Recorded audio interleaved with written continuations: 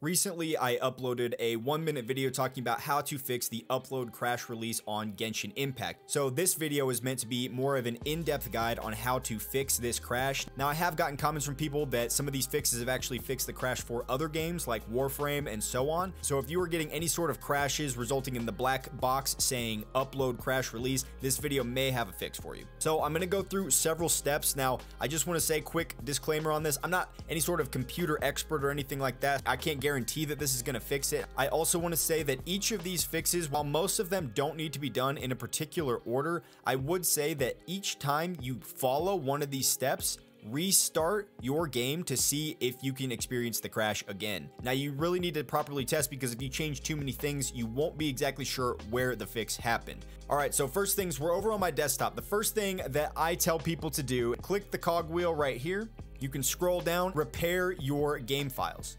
Once you've repaired your game files, there is this right here. It says, uh, if after repairing you are still unable to enter the game, please try this function. After the cache is cleared, it will automatically download again the next time the game launches. So you can do the repair now, give it a test, see if it works. If it uh, crashes some more, go here, clear the resources, give it a test, and then if it crashes again, go ahead and continue here. One thing that some people do not know is that you hold shift, you can click launch while you're holding shift, and it will bring up the Genshin Impact configuration screen. Now here you can change the screen resolution or the graphics quality. I have had people say that they've had success by turning the graphics quality down lower and the game wouldn't crash for them or they would just lower the resolution here to something like 1080p um, and then maybe combined with lower graphics quality it helped them kind of avoid the crashes in the future so maybe that's something that you want to try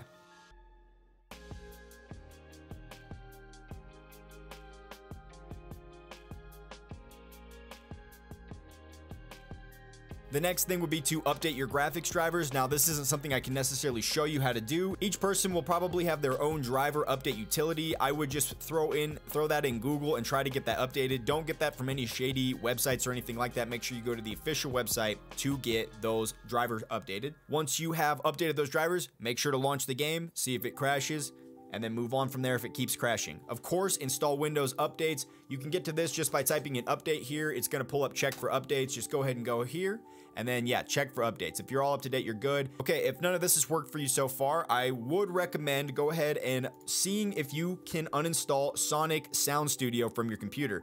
Now, this is mostly going to be a fix for people, I believe, who have an Asus motherboard, but you can find out if you have it by typing in just Sonic here, and it, you'll see if anything related to audio, basically, right? Sonic Sound Studio.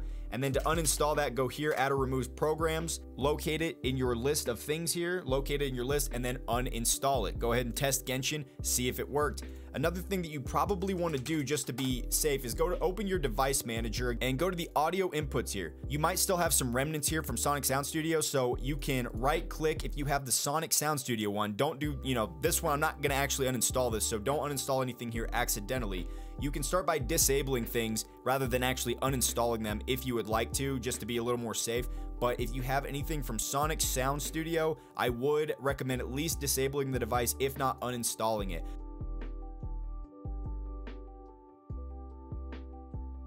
Now another thing that's been suggested, I've kind of seen it go around my comment section on the previous video I made for this fix, you can attempt to reset the Genshin Impact registry settings. Now this is something that can be a little bit dangerous. I'm, if you don't know a whole lot about computers or what you're doing with it necessarily, make sure to watch a video on how to do this, which I will link in the both the comment section and in the video description.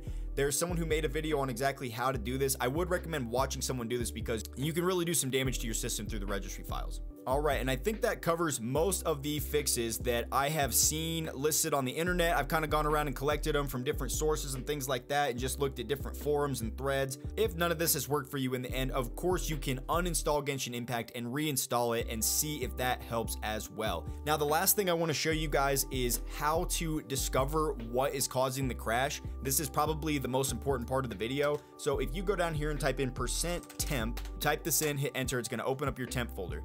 If you go up here and sort by date modified, and then scroll down, these are all, you'll see all a bunch of files most likely. Scroll down to your actual folders down here.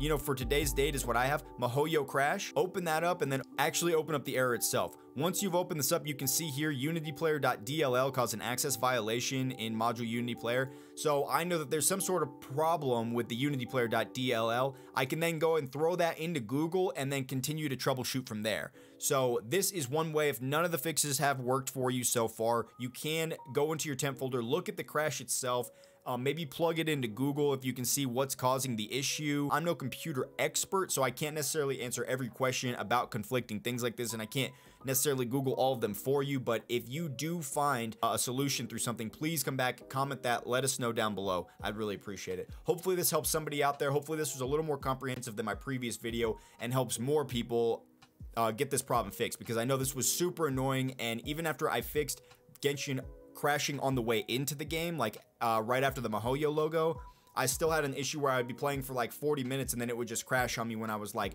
gliding over something. And I'm not really sure what caused that, but um, I do seem to have it fixed now after playing for several hours. So again, hopefully this helps somebody and I hope you have a great day. Make sure to like the video if it helped you out. Drop a subscribe if you want to see more from me and I will see you next time.